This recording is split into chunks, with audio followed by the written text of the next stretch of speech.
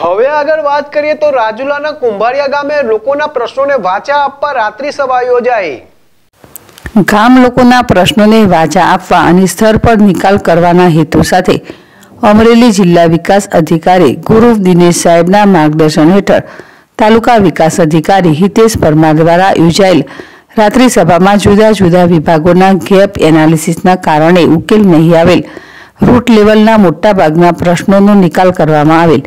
જ્યારે બાકીના જૂજ પ્રશ્નો નીતિ વિષયક હોવાથી તેની પાછળ ફ્લોઅપ લેવામાં આવેલ હતું, જેમાં રોડ રસ્તા, ગટર મફત પ્લોટ પીએમ કિસાન અને દીબાના દબાણના મુખ્ય પ્રશ્નો સામેલ હતા.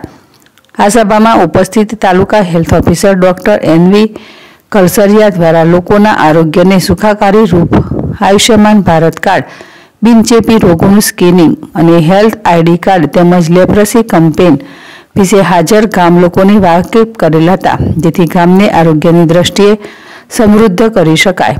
ગ્રામજનોને પડતી મુશ્કેલીઓ કે રજૂઆતોનું સ્તર ઉપર જ નિરાકરણ કરવામાં આવતા અને હાલની વિકાસશીલ સરકારના પ્રજાલક્ષી વિવિધ અને ખૂબ જ લોકો ઉપયોગી લાભદાયી યોજનાઓથી અવગત કરવામાં આવતા.